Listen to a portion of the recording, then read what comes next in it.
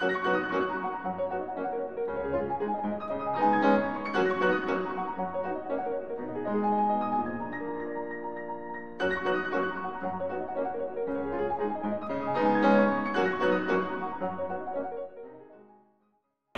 let us start with the important features of a truss. See, Usually, uh, a truss consists of a long and slender straight member connected to joint. And no member is continuous to a joint. And we can simply say that formation of a truss is nothing but simply assemblage of triangles. If we keep connecting many triangles, we will eventually form a truss. The basic assumption that is made is although truss joints, they are bolted or welded connections, they are actually assumed to be a pin connection. So that is the basic assumption we make. And the basis for that assumption is that firstly, we can see that these members are long and slender in nature. And also, the loads that we apply in a truss, that must pass through the joint. Therefore, what happens at the joint, we are going to get a concurrent system of forces. So, each and every member, since they are connected by pins at the two ends, we are going to call it a two force member as we know.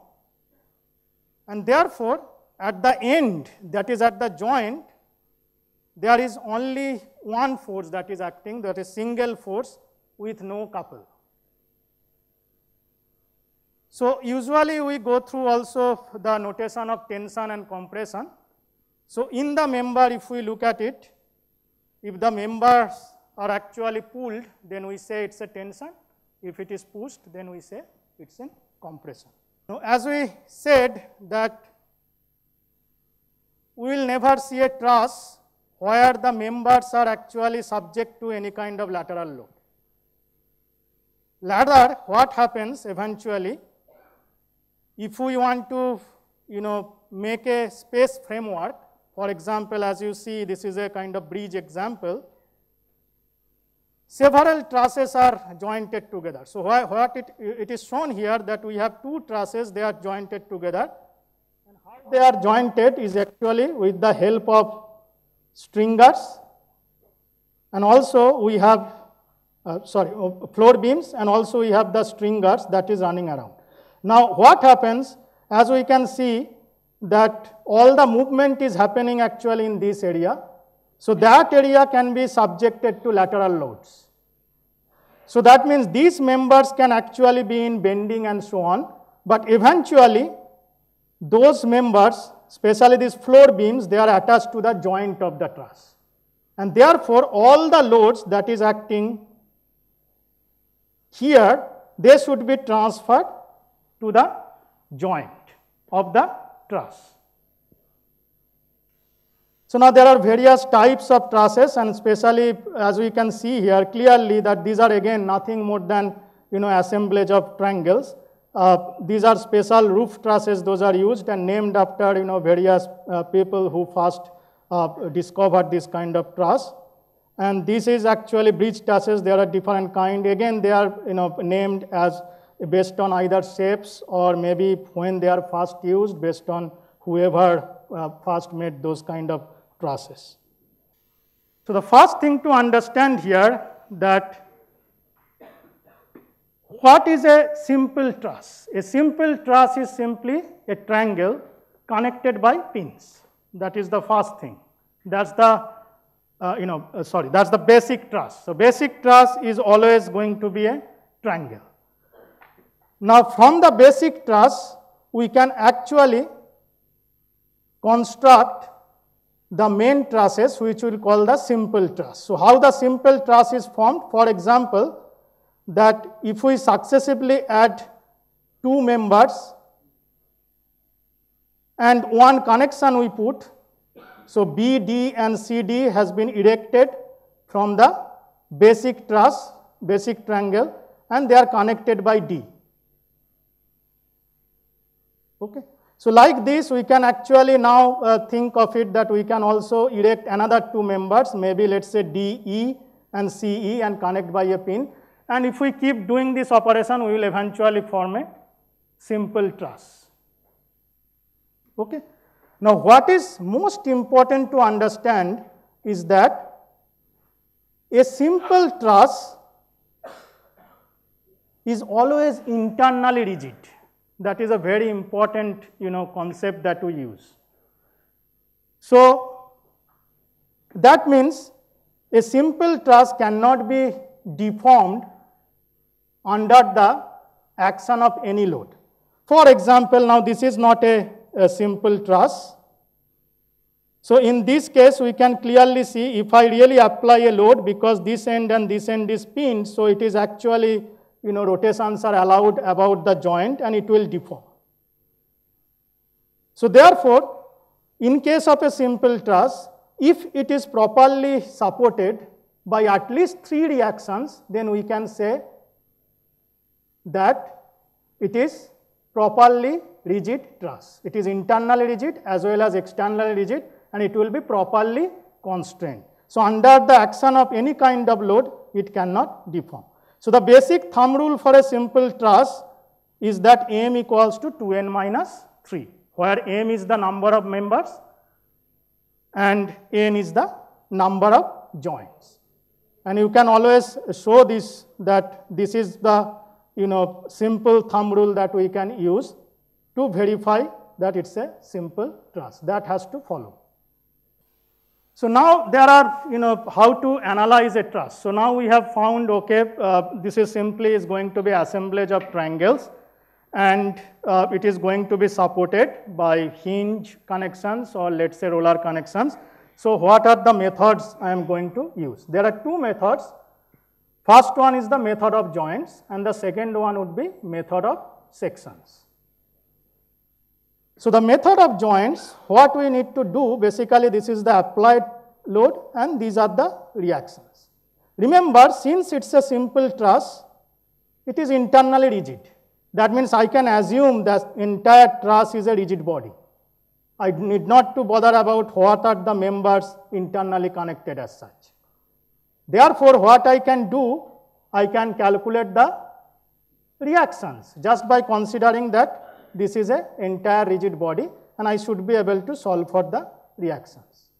That is the first thing. Second thing is that when we really want to solve it, we try to create free body diagram for each and every member and the pin. Okay. So, as we can see here that any member I see that AC, let's say this AC member, we have used these you know, directions to represent it is in compression. Now, if this is in compression, so we will represent it like this way and therefore, as per Newton's third law, at the pin or at the joint, it will simply be reversed. So, right here it is shown in a reverse way. Here also at C, it is shown in a reverse way. Now, how do I solve it? So, first of all, we count the number of members present. So, number of members is equals to 5 in this problem. Number of reactions equals to 3. Okay. Now, what is the then total number of equilibrium equations that are available? Because remember, each pin is under equilibrium. Each of these joints will be under equilibrium and therefore, per joint since it is a set of concurrent forces, we can say that there are two equations per joint and they will be simply sum over force along x equals to 0 and sum over force along y equals to 0.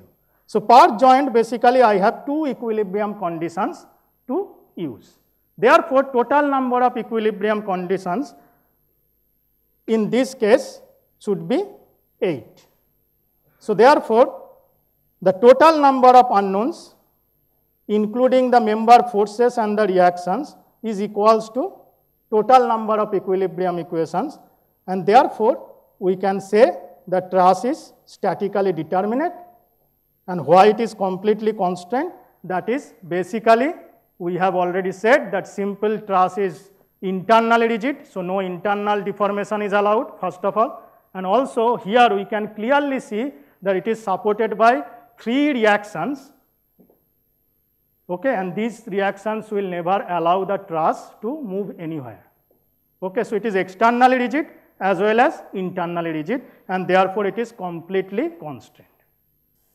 now here what is being presented is basically not very commonly used but we can apply uh, actually you know equilibrium conditions in a different way because as we know that these are actually concurrent system of forces at each and every joint.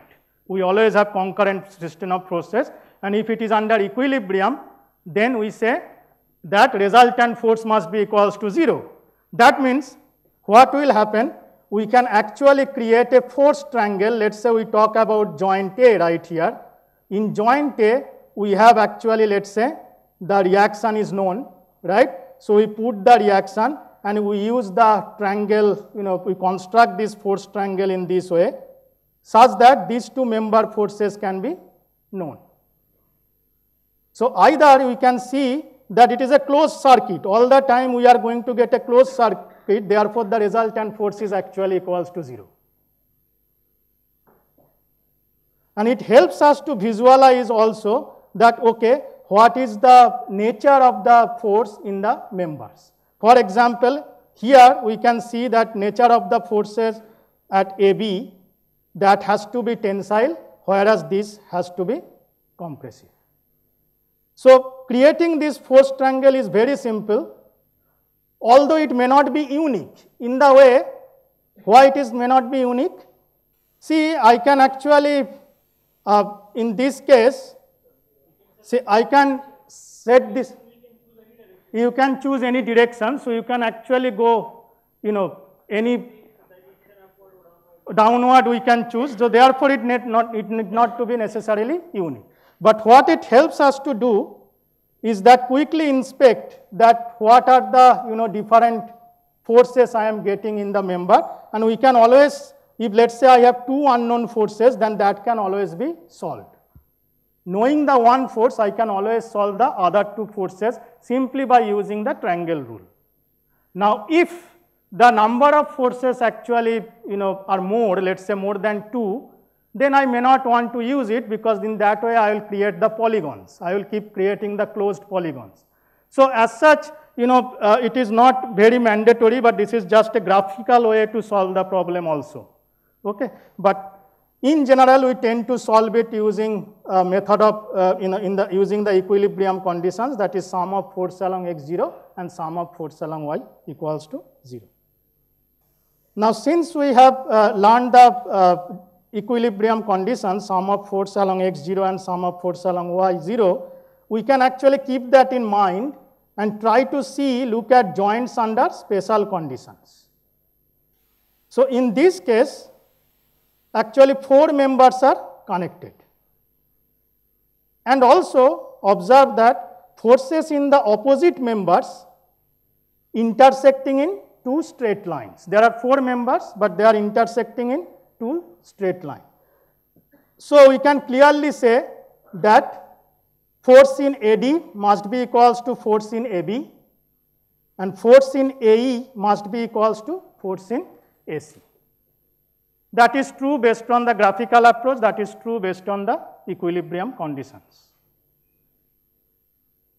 Now this is very important because when you see actually a truss, we should be able to use these special conditions to immediately get a feedback that what kind of relationship exists or maybe some forces can also be solved directly.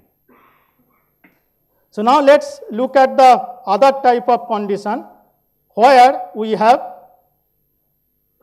two opposite members, the forces in the two opposite members are equal when a load is aligned with a third member.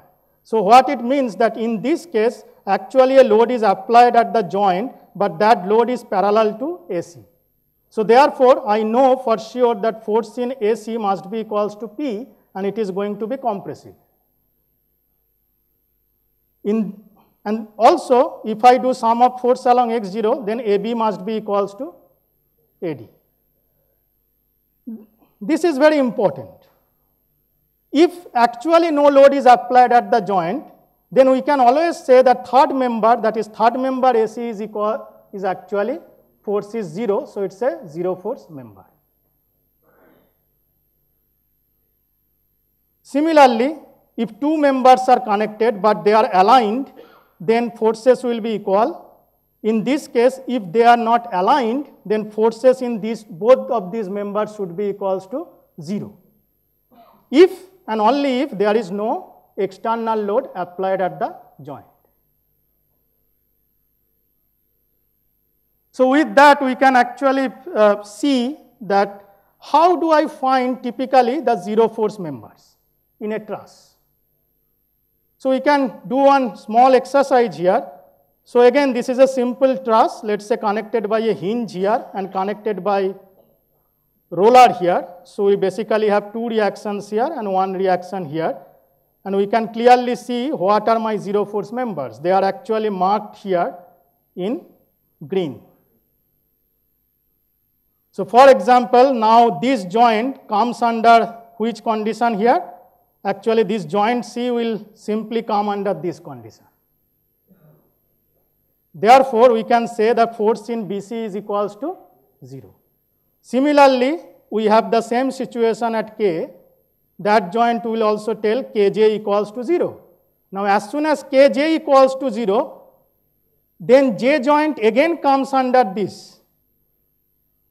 And we can say that Ji will be equals to 0 because if I take a perpendicular equilibrium, right, with respect to, let's say, this member. So if I take a perpendicular equilibrium, then immediately we can say that Ji equals to 0. Okay. So with that, we will just take up a very small problem to identify the zero force member in the truss.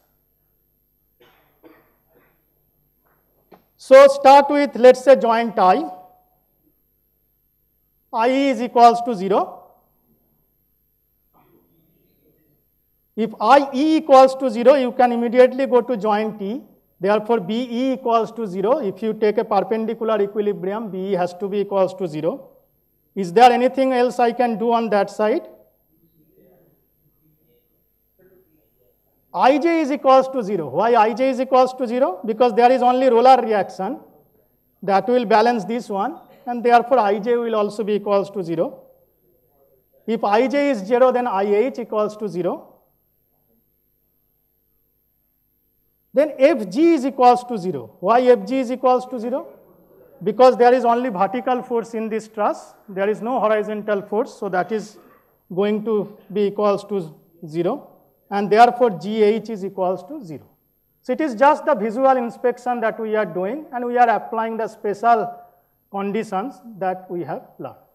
Number B to be 0, it is not necessary that the angle made by B with the CH has to be 90 degree. No, no, no, not necessary at all. See what we are looking at, I am inspecting from these joints. So first we have said that IE equals to 0. Yes. Right? And then once I go to joint E, Hmm. now I have three forces. These two are equal. But this one, knowing- if we take a equilibrium perpendicular to CE, right? There is no force to balance that force BE. Now, suppose some force is acting on the point C. No, if that is acting, then no, still does not matter. If we are concerned about the BE, it does not matter if I apply a force here. Sir, It is always happening at the joints. nahi, if some force is acting at some point A or C, the member B has to be equal to B has to be perpendicular to the CH to have the force in the B to be zero. It is perpendicular. What is? It has to be. Oh, no, no, no. I'm asking. No. I'm asking. I am making my clear doubt clear. Is B has to be 90 deg- has to be perpendicular no, to the not CH. absolutely not. Answer is no. Why should it be? It should be, sir. No, because you just look at the joint equilibrium over there. See, only way B can be non-zero, I cannot comment. Similarly, I also have the doubt. If the forces are, sir, just see here. If the forces are like this, cross, Which one? huh. Yeah, In this case also, this member should be at 90 degree, na? no, no, no, no, not at all. Why? Because it's all, there are four forces here, they are all concurrent forces. Why it is necessary to be 90 degree? You just take the sum of force along x0, then you will equate eventually FA must be equals to FAD. Suppose if angle BAE is less than 90 degree, Yeah, will that condition applicable? it is applicable. Applicable. It is applicable, there is no issue as such. Because we are always looking at the equilibrium and there are four forces at that particular joint. And we are all, all we are saying that sum of force along x equals to 0, sum of force along y equals to 0. So what relationship exists between these forces, right? You can also visually inspect, you are actually going to create a polygon that is a closed polygon, there is no r, so r equals to 0. And that polygon tells me immediately that FAD must be equals to FAB and FAC must be equals to FAE. Okay, clear? I have an answer of that question, sir. Can I explain? Yeah, you please go ahead. Okay. Now, analysis of a joint. When you consider the joint, that will act as a concurrent force system. Okay. Now, at a joint I, there are three forces now. One is HI, second one is IJ, and third one is IE. Now, when three forces acting at a joint, out of those three, two are collinear, then third inclined force is zero to maintain the equilibrium of that joint. Whatsoever is that inclination, right? So at I, three forces are there, therefore I is zero. As soon as I is zero, then we are looking at the joint E. At a joint E, three forces are there again. One is HE, second one is CE, and third one is BE. Out of those three, two are collinear. Then whatsoever is the inclination of a third force to maintain the equilibrium of that joint, it has to be zero. Okay, Thank you. so that is what, No, no, it, it, it is immaterial. Whatsoever is a force Material. acting at a point C. We are just analyzing the joint E only. We are going to analyze the joint E only. We are not considering other forces which are at, acting at a different joints.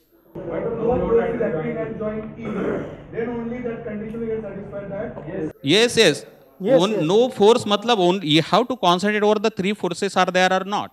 More than three, by observation, we can't say it. By calculation, it may be zero. But by observation, we can't say about it. okay. Thank you. So when we consider this truss now, so same logic will apply. If we can start with joint A, let's say, if we come to this joint, then we can clearly see that AF equals to 0, right? Similarly, we go to this joint, joint E. Remember, both have to be equals to 0 under the special condition, okay? CH is 0, NI is 0, LG is 0. All are under special conditions. Yes. Sir, before we go into the details of these problems, could you please tell what is the advantage? Why we really use the truss? See, the truss is basically used, or we can think of that way that uh, one is the economical design aspect, right? So that is the first thing. And difference, you know, in the sense that since truss members are slender, right? And loads are applied at the joint, then you can actually use very simple analysis than that of the frame. Sir, my question is, what is the difference between truss, truss and frame, sir? That is the exactly uh, what we should try to think of it. That is what I am saying that frame will carry the moment. See, frame takes the load in the member itself.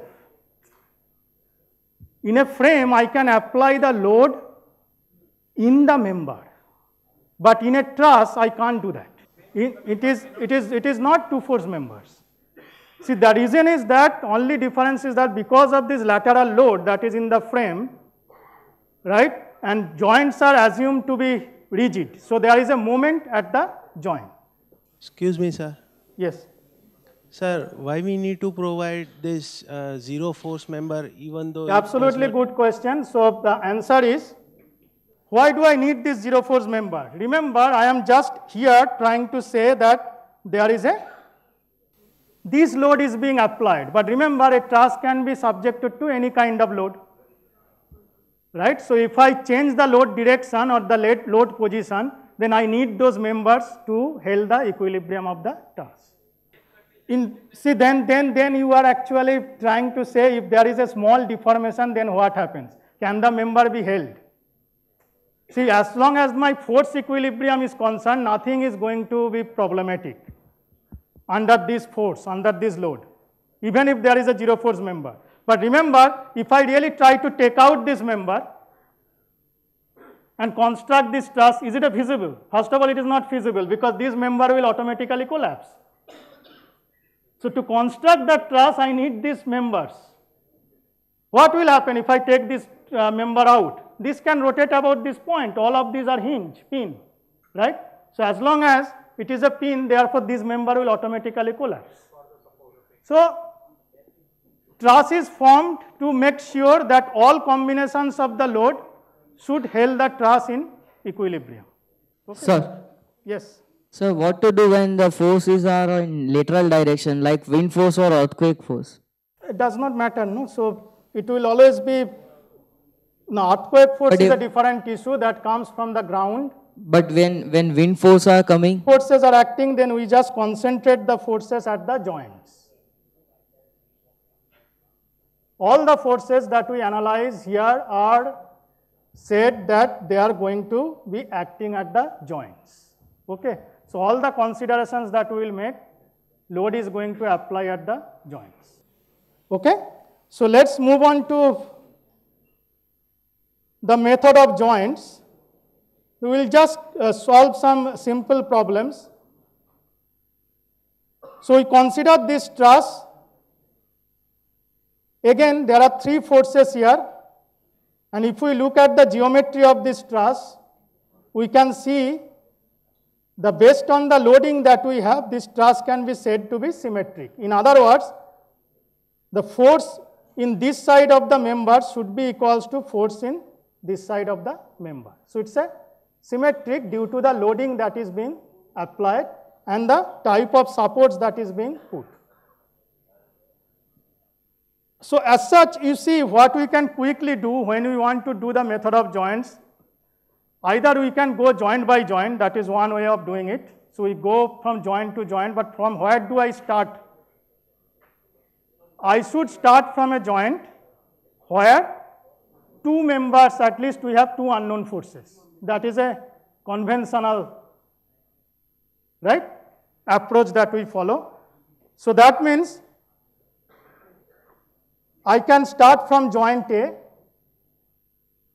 So, if I consider joint A, I can automatically say that the force in AB equals to 0, right. So, just go to this one. So, we start from this joint. Now, how to start the problem? This I have used already the special conditions, right. I said if AB equals to 0 because you know ideally we are doing sum of force along x0 at that joint. But remember I have to first make sure the tensile and compressive that notation has to be correct. So, either tensile force or compressive force, how it is going to be presented that has to be absolutely clear to us. So, tensile force, I could assume that I will start by saying that forces are actually tensile in nature. If it is tensile in nature in the member, then at the joint it will be shown outward. So I'll assume the forces are in tension to start with and then take the equilibrium. Whatever sign I will get, that will, if, it, if I get a positive sign, then it is tensile. If I get a negative sign, it is going to be compressive. Remember, I can make a tensile as compressive and, uh, you know, uh, uh, compression as a, a tensile as, let's say, negative and compressive as a positive. I can start with that no problem, but I have to, I have to be consistent, whatever I use throughout. So in this case, we will try to always assume that forces are, you know, member forces are in tensile in nature, and therefore I start the problem from there. So in this case, what has been found is that f AD equals to negative 5. Okay. Now once this is found, then I will go to also joint E. Why I am going to joint E? Remember joint E has more than two forces, but these force can be immediately known.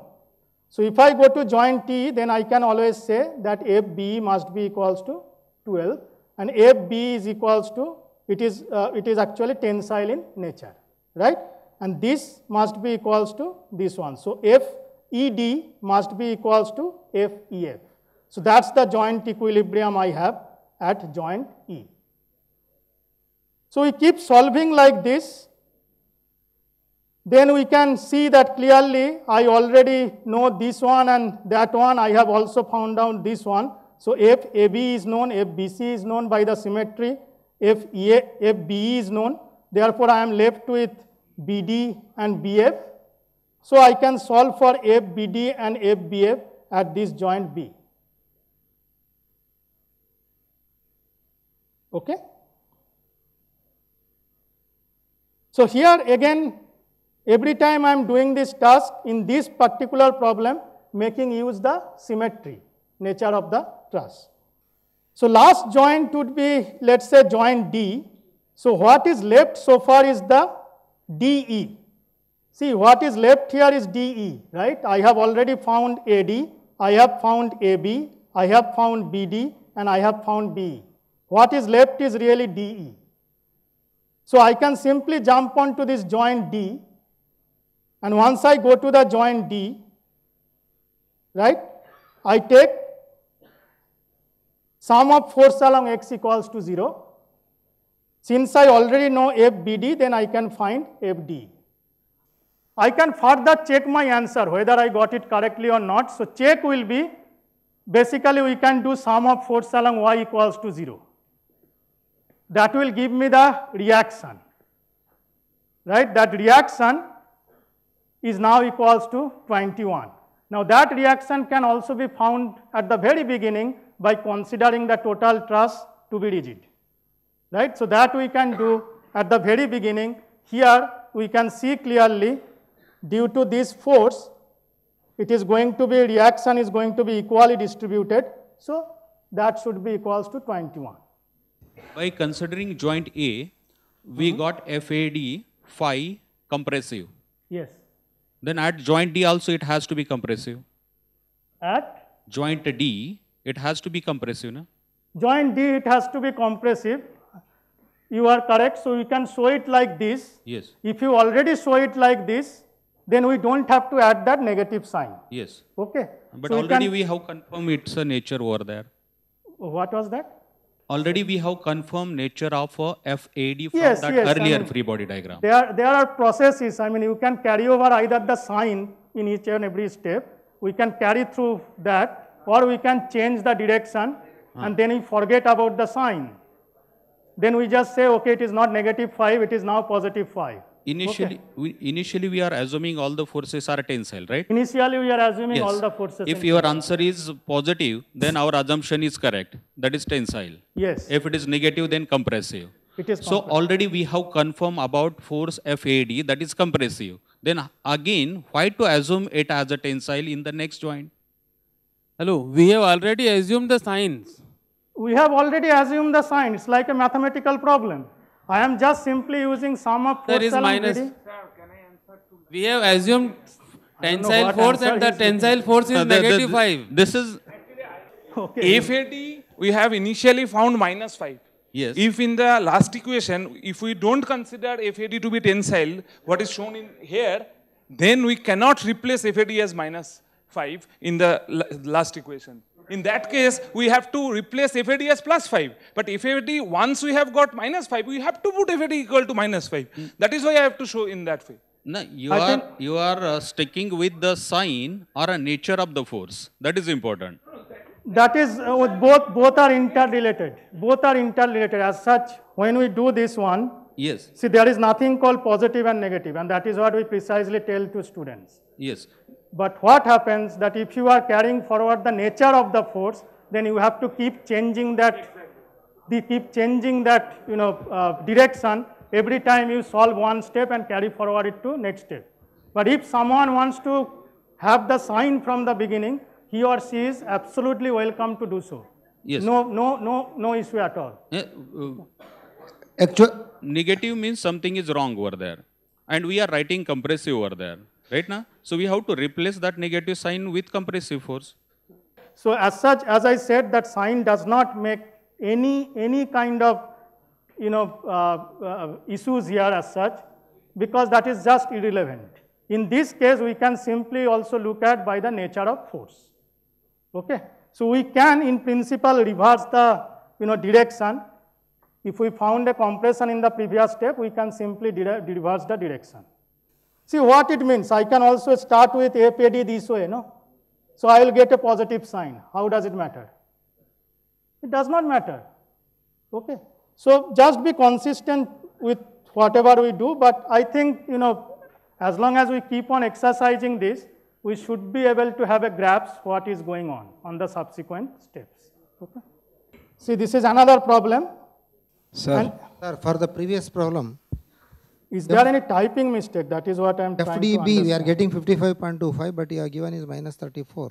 Wh- Where, where? Can you please identify? FDB. You consider the whole truss and calculate the reaction at D, Reaction at D. D, off of the load, because load is symmetry. Yeah, so that is 21. The reaction is 21 at D and also F. Is there any uh, typing mistake here? FAD is negative uh, 5.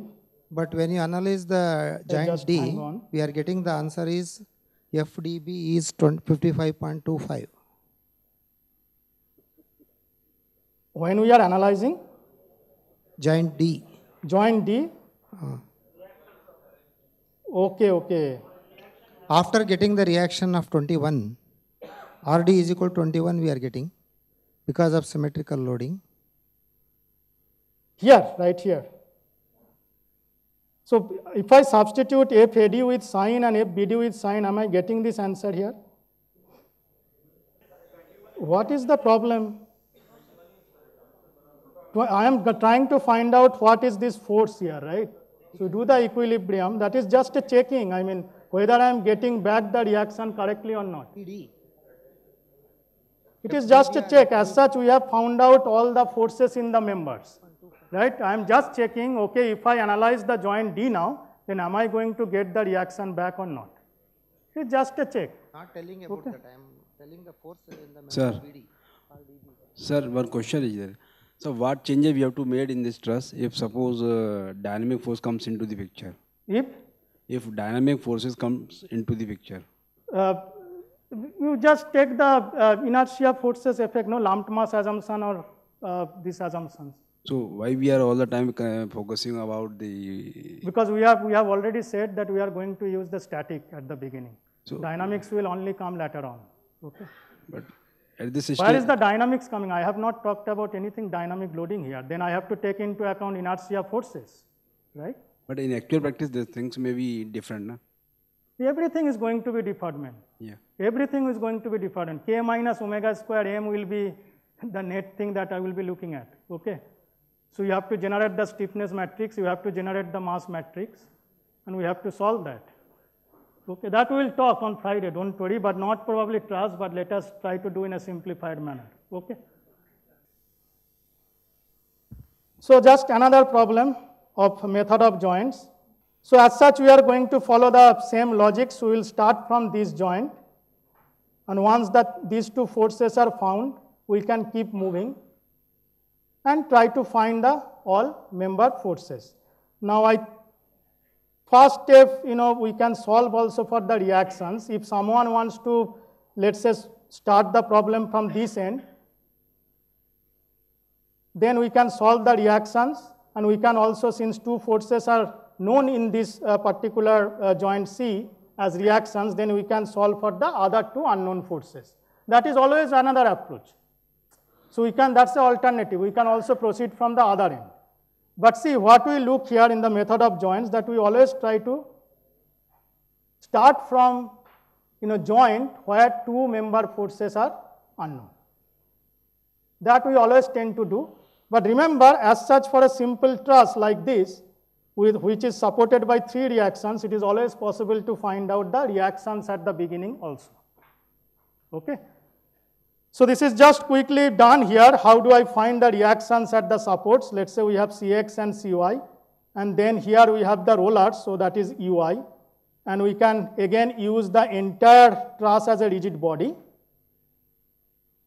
and we take the moment about C we take sum of force along x equals to 0 and sum of force along y equals to 0. So, three conditions of equilibrium will give us the reactions, three reactions, three unknown reactions that is Re, Cx and Cy. Sir, sorry to interrupt you, sir. I have a doubt. Yeah. So suppose I calculate first the reaction forces at C and uh, another joint is, uh, and their support is E. E, support roller. There was a roller at that support, okay. right? So I am finding the support reactions Mm -hmm. and then I proceed to C. There, there are two unknowns followed by E. Again there are two unknowns. Then I move to D. Again there will be two unknowns. And then I move to that uh, center point. Center point. B. B. B. So uh, in the next, uh, when I start from joint A, will Yes. the answer match? Absolutely, it has to match. You go anywhere around because you are talking about a equilibrium, right? See, ultimately what it is, we have how many members are there? Let's look at this way. How many members are there? One, two, three, four, five, six, seven. I have seven members. How many reactions I have? Three Okay. right? Hmm. So total number of unknowns are 10, 10. okay? Okay. And what we are doing is really we are taking the joint equilibrium. So now we are saying per joint I can establish two equilibrium conditions. So how many joints do I have? I have 5 joints, so I can get exactly 10 equations, 2 times 5. So 10 equations should be able to solve this 10 Unknowns. unknowns.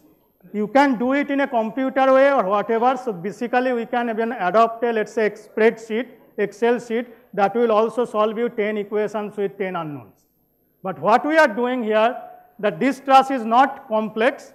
So we can start from anywhere we like as long as there are two unknown forces. Okay, okay? clear? Okay. So just quickly here the, you know, just to show that first part of this problem, let's say we have joint A here, right? In joint A I have two unknowns and immediately I can create this force triangle. So there is a 2000 Newton here and to create the force triangle I will just simply say FAB and FAD, right? That closes the triangle, so resultant force is 0. And from this we can use the laws of sines to get the values of also FAD and FAB. So this is an alternative approach, right? This is just we are using the laws of sines to get the value of FAB and FAD. Nothing more than again it is actually a joint equilibrium. Sum of force along x equals to 0, sum of force along y equals to 0. In any case now since we are all in the same page, so once this is found, then we can actually go to joint D and we can solve for DB and DE. Then we can, you know, look at joint B. From joint B, we can try to find out uh, the other two unknown forces, that is FBE and FBC. And then we can come to joint T, we can find out FEC. Now, as it is shown here that this was the earlier discussions. The nature of the forces are actually reversed at the joint. And if we look at the nature, of, if we reverse the nature of force, then we should consider this in this case all the time when we are establishing the equation, we have to consider it to be positive. Okay. So here nature of force is already being taken into account because this was compressive, so it was taken inward to the joint. So this is just an analysis method. The second method is the method of section. Now why do I use the method of section first of all? Suppose the forces in a very few members need to be calculated, then we can adopt this strategy of method of sections. Remember, in a method of section, what happens that again, first we run this section and we split the truss into two halves. So therefore, these forces are exposed now and we will have a left free body diagram or right free body diagram. Remember this part right here is a rigid body. This also is a rigid body because these are my basic triangular trusses. So I do have two rigid bodies now being disconnected and I expose the, you know, uh, uh, these two uh, uh, parts and therefore we can draw the free body diagram of this side. On the left free body diagram should be shown like this where I have only three forces as unknown forces. These two are known loading. So now we can actually solve for these three forces. The difference between the method of joints and method of section is that a portion of the truss that is being cut out is already a rigid body. Right? And therefore, since we treat this as a rigid body, it is no longer a particle like the pin was. In the method of joint, it was just a particle there and we have the concurrent force systems. Now this became a rigid body.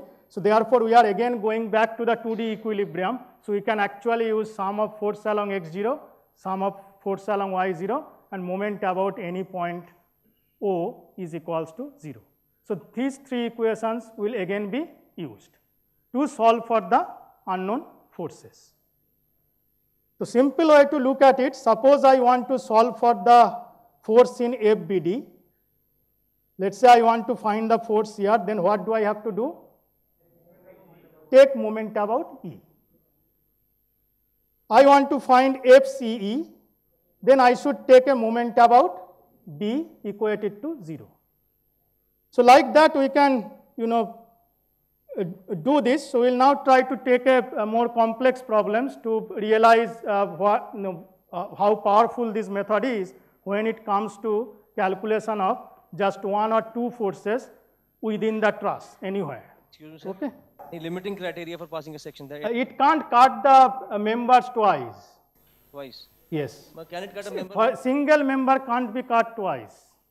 That's the only then you are not actually doing the method of section. So just try to, see for example, if I just pass this around, I take this way, then it does not make any sense. Two halves we need, we need to have two halves. You want to always create two halves out of it. And one single member should not be cut twice. Then you are actually having the same equilibrium. A section can pass Sir, by any number of members. No, no. No, no, no. That's more than three unknowns should not be there. Maximum unknowns at that section should be no, three. No, no, that is uh, not uh, true actually. Legally that is not true. You can have a number of forces uh, more than three also when you do the method of section. That should be calculated but, by... But idea is that you should cut a, a section in such a way Yes. that you can solve for at least three unknowns. Okay. We'll come to that point. Just keep in mind that we will actually try Sir. to interrogate a truss like this. Sir, the section is always a straight line or it can be a curved line also. Uh, it does not matter. What we are doing is, see, if I do like this, it does not matter. All we are saying that it is being cut. And there is a force, that force is exposed. So how it really does not matter if I go like this or if I go like that. We are simply exposing the forces on those members and a force has an infinite line of action. A force has an infinite. I don't think that is, we, we, we don't have to, okay? So we take an example of a Fink truss. Now this is a simple roof truss that is being shown. What is asked here that we have to find out CD, CE and BD. These are the three member forces we want to find out. CD, CE and BD. These are the three member forces I have to find out. Okay? So remember to to do the method of section, firstly we must solve for the reactions because again in method of sections we want to detach the two parts of it, right? So therefore these reactions have to be known to us, okay?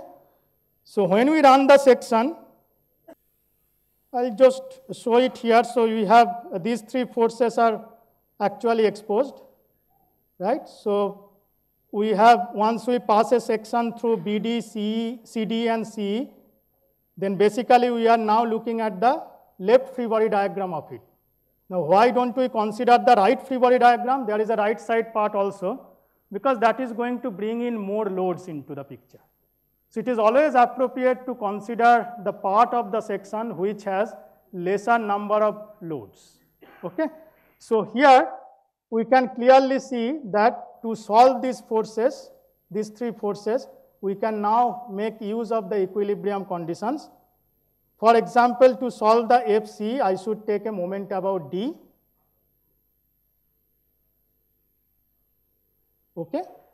So moment about D was made to be 0. So the number came out to be 22.5 kilonewton, uh, 22.5 kilonewton, that is tensile.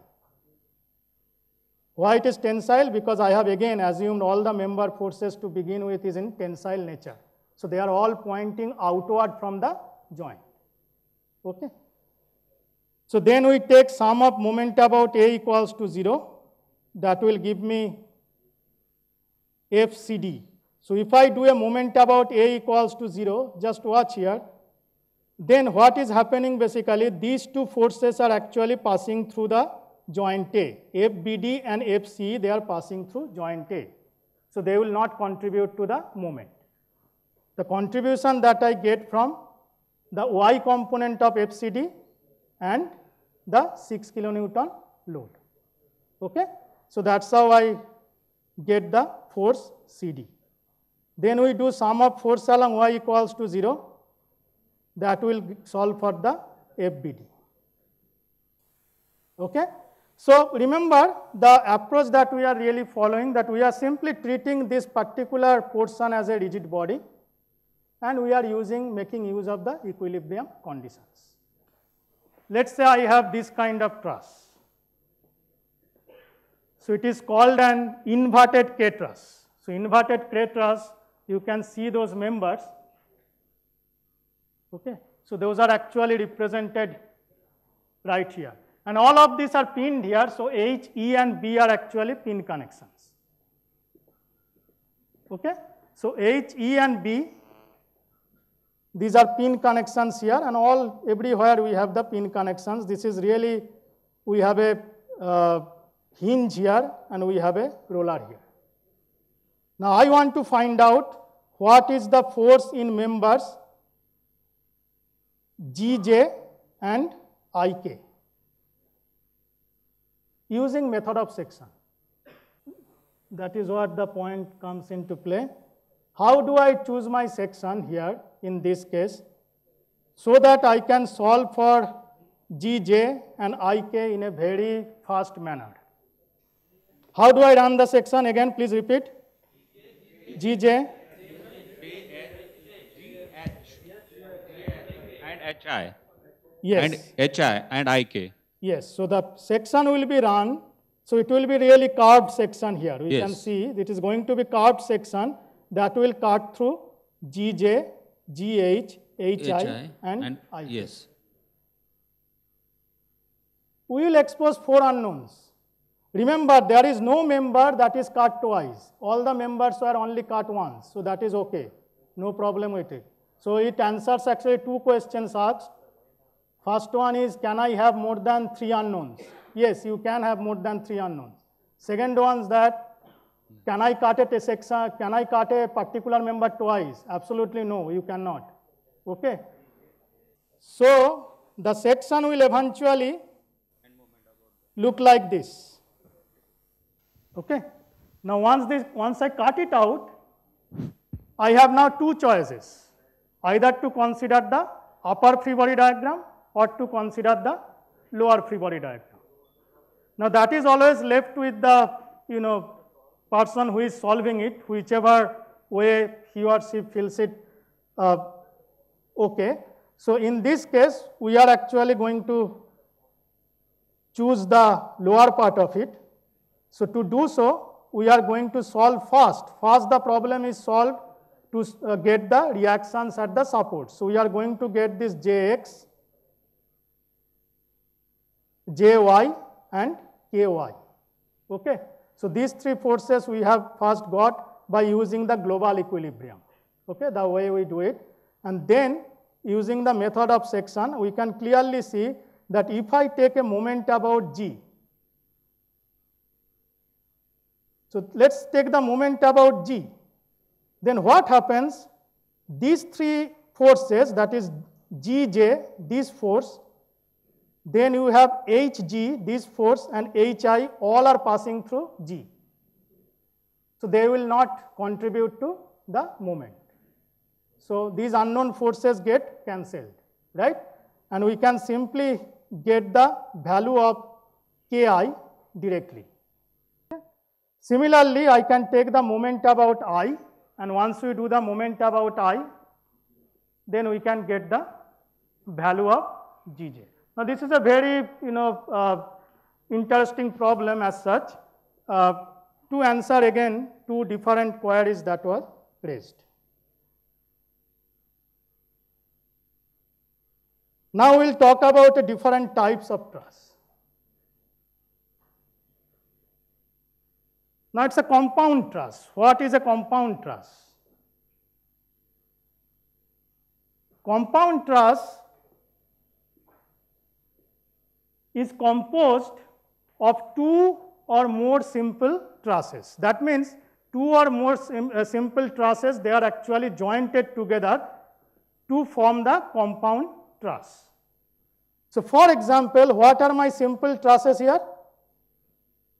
A, B, C is a simple truss and D, E, F is the another one. So, these two trusses are jointed. How they are jointed? By three members right here and also remember it is placed on a support that is a hinge support and also we have a roller support here.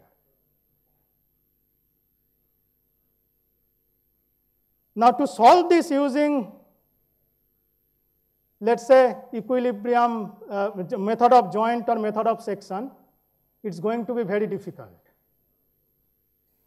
For example, if I just ask you what is the force, can you tell me the force in this particular member? I want to calculate this force. Okay. It will be a bit difficult okay, to solve. So what this problem, the approach that we are going to adopt here, that we are going to again separate these two trusses. Okay? Remember that we have now two rigid bodies. One rigid body is ABC and the other rigid body is DEF. These are two simple trusses, right? And if we have two rigid bodies, and if we use the equilibrium conditions, then how many unknowns I can solve? No, for two rigid bodies, six unknowns. Now in compound truss, this is quite a natural logic that is going to be followed. Okay, that means once I separate these two trusses, I have I'm separating really two rigid bodies. Therefore, if I have six unknowns exposed, I should be able to solve those a priori using the equilibrium conditions. And once I solve these six unknowns, then only I can go and try to use the method of section or method of joint for individual trusses. So therefore, once I dismember this, how it is going to look like. So remember, if I take out the A, B, C and D, E, F, then what are the forces going to be exposed? F, B, D, right? F, B, E, F, C. Along with that, I also have three reactions. So therefore, how many unknowns I have? Six. And these six unknowns can be solved very easily by considering the equilibrium of each of these trusses. See, once I solve this, once I solve this, I can easily use the method of joint to get this force. So, as such, using you know method of joints and method of sections, it is very difficult to analyze this compound truss. So, a priori, we try to get the connection forces that is being established in the compound truss. Similarly, we can go to a next problem. You look at this is also a compound truss. So, this truss A, D, C and D, E, F, how I am going to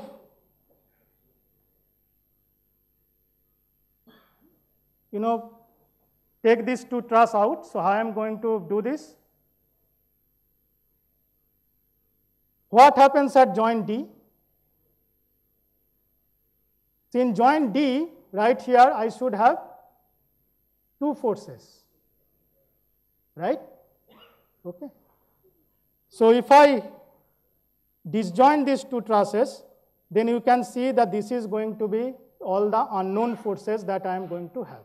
So, that means here it is going to look like this. Let us say dx and dy that will be simply be altered as per the Newton third law. So, we are going to get a dy here and dx in this way, right. Similarly, here we are going to get this unknown force and we have another 3. So, again what we are going to see here, we are actually having the 6 unknown forces. Yes. So assumptions of trusses, we cannot cut the joint also. I am not cutting the joints here. I am simply detaching it. See, So- think of, I have two rigid bodies. I have said simple trusses are rigid bodies, right? Okay. So I say, let's say this is a body, this is a body, and I have simply made a pin here. Hmm. I want to take this out. So what happens? So, This Since will not a joint, stable truss. So this will not remain a stable truss. Why shouldn't not be related? Because a simple truss supported by three reactions properly is always a stable truss. No issue. But according to assumptions, uh, No, joints cannot we be are just saying these are two simple rigid bodies and we are simply trying to take it out. There is a pin, right? So that pin is actually allowing Sir, actually the we are passing the sections. That is No, why. that is not. I am not passing any section whatsoever. Then you can take one of the load, right, in one, one, one, one of the trusses. That is always done, right? So, but ultimate idea is, now I am telling, I am not telling that answer what it needs to be done if we have a really force applied at this joint and the reason I am not telling you will see around 5 o'clock, okay? So we will take a quiz and there will be actually some kind of load here. Okay, so similarly now here again Not necessarily to take on both the parts of the no, structure. no, not necessary. Because you are automatically, these forces will be balanced. This force will take care of, you know, that distribution that is coming into play. Okay? So only one side of the uh, Truss you can part of the take. truss Yes. will be having the load, vertical load. Yes. The other part will go uh, Yes. ideal. Why we are doing this thing? No, not, not every time it is possible. Not every time it is possible.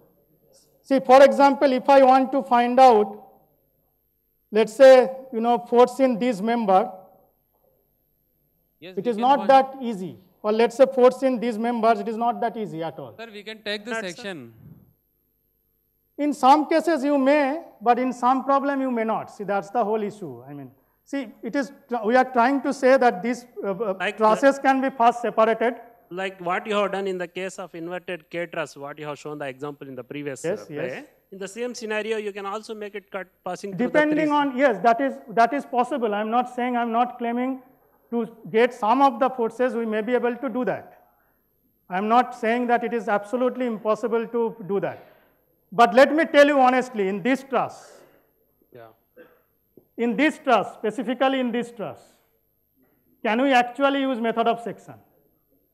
Remember, first of all, what is the problem?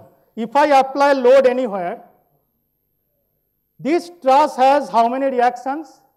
Four reactions. Can you solve that a priori? I have four unknowns with one single rigid body. It is not possible to solve. See the point? So, uh, in order to solve the reactions, I have to exercise this. I have to separate it and I have to make sure there are six unknowns with six forces such that I can solve for the reaction. Is that answer your question? Yeah. See, it is not that for all compound trusses it is required, but this truss especially when you have two hinges, I won't be able to solve for all the reactions a priori. Therefore, it will be appropriate to get the reaction, I have to exercise this. I have to separate the truss, okay? And I have to expose the six unknowns and solve from the two rigid bodies. Clear? Okay.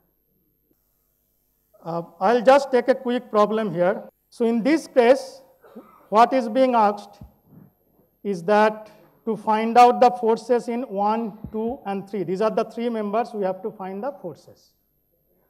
And one comment here, all of these are continuous members, they are not cutting each other at these intersections.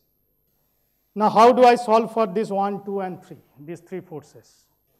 Easiest way to solve, I am here again, see we are trying to understand what would be the easiest approach to solve this problem. Does the method of section work? Answer is no. You try to solve it using method of section now. You won't be able to do it. Can I use a method of joint?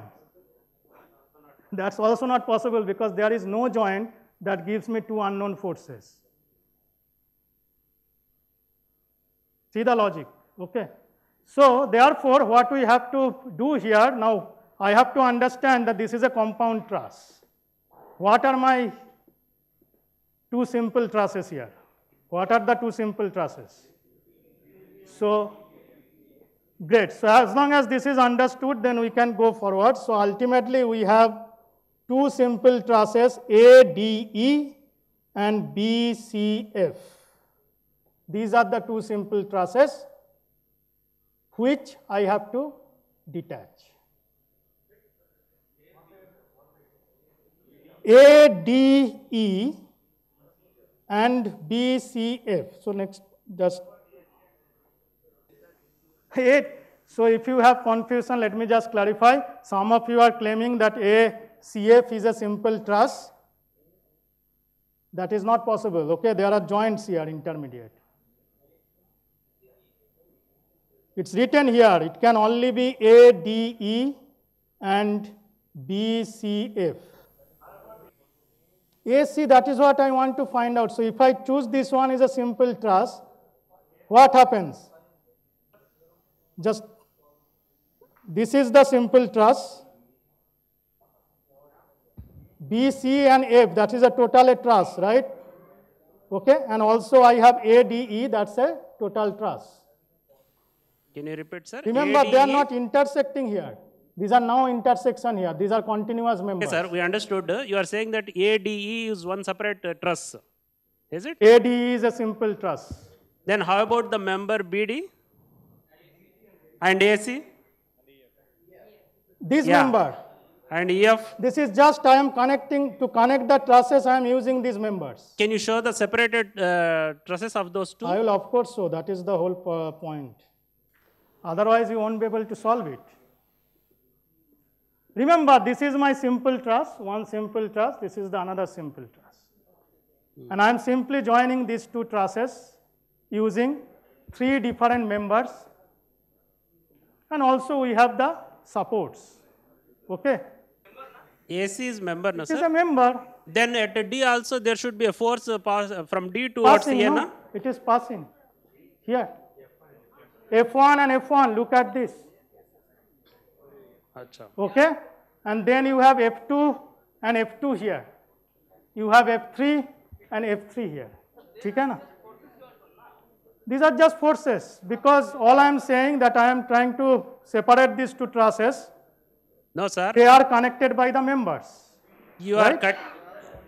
You are showing the member AD, let us say. It is represented with a force uh, at A as F1. Yeah, what you are showing in the picture. This is the force. Yes, so that I force agree. is from Then the how AC. about at uh, What is the simple truss first of all? What is the logic for simple truss? m equals to 2n minus 3. So let us not confuse there, okay? So first identify the simple truss. Then you can make any number of connections you want. First identify the simple trusses properly. If you can't identify the simple trusses, this problem is not going anywhere. Three So actually I have exposed here, there are three forces. These are the three members taken into account to join these two trusses. And also I have the reactions as usual. So there will be two reactions here and one reaction right here. Okay? So total six unknowns are again in place. I have two simple trusses, that means two rigid bodies, and I can solve for these six unknowns. I think because of the loading pattern, AX is not represented there. No, because X will be automatically zero. Why, sir? You take the entire task, say sum of force along x equals to 0. Does not matter, you apply no. How the things will change? It's a joint, you are applying everything in the joint, right? So if I really apply a force here, nothing changes. That will be just taken into this simple truss when I dismember. But in this problem, there is no horizontal load, so it has to be x equals to 0. If we apply in that At E case, there is horizontal In that case, there will be horizontal force.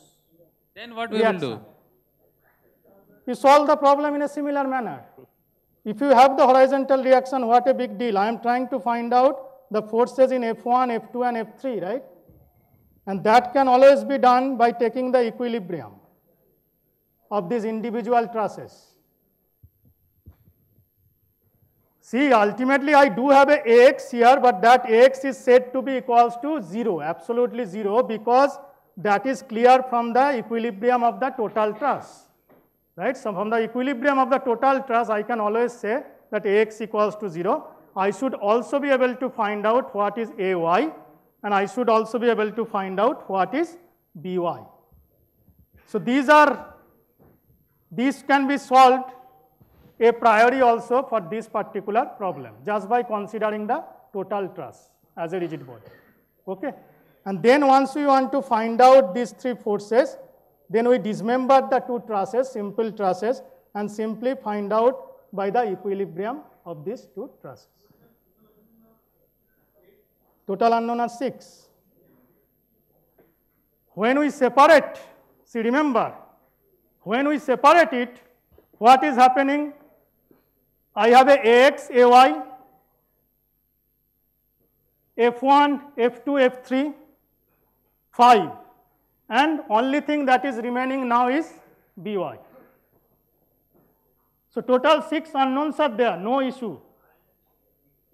Total 6 unknowns are there. Okay? It has to be. Otherwise, I won't be able to solve this. This is statically indeterminate if it is not there. For example, if I make a hinge at B, if I make a hinge at B, and let's say I also apply a horizontal load, then problem becomes statically indeterminate. So that m plus r equals to 2n, that logic is always going to apply for any truss problem. But m plus r equals to 2n, it is a just, you know, you cannot say that truss is stable or not based on that logic itself. But is that picture clear for the compound truss? So simply think of simple truss, just extract the simple truss and simple truss, remember, is always internally rigid. If it is internally rigid, all we have to take care is the fact that I am going to stabilize that truss based on the external reactions that is being put in. Okay?